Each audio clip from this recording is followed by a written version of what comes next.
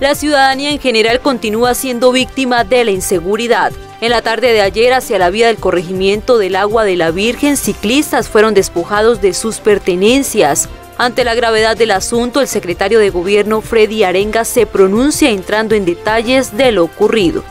La información que tenemos y que nos dan a conocer algunas personas afectadas por un hurto en el sector de la reserva es que varios ciclistas que eh, salieron en la tarde a rodar eh, fueron interceptados por cuatro hombres armados, eh, al parecer con un arma traumática y con un cuchillo.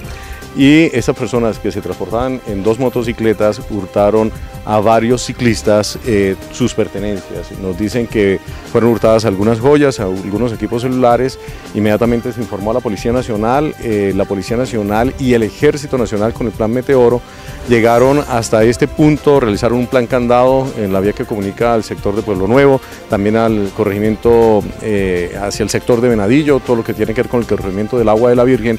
En estos momentos, las autoridades adelantan todo un trabajo de seguridad para los ciudadanos y a su vez tareas de investigación que permitan dar con el paradero de los responsables de este hecho.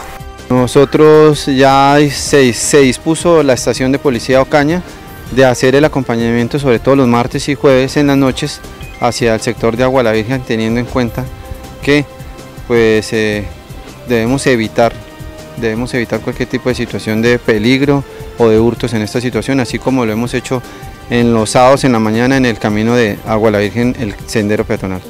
Se le invita a la comunidad, en especial a los ciclistas, para que tomen prevención frente a estos hechos de hurto que infortunadamente se están registrando día tras día. Autoridades invitan a las víctimas para que se acerquen a las instalaciones policiales y se puede interponer las denuncias para entrar al proceso de judicialización.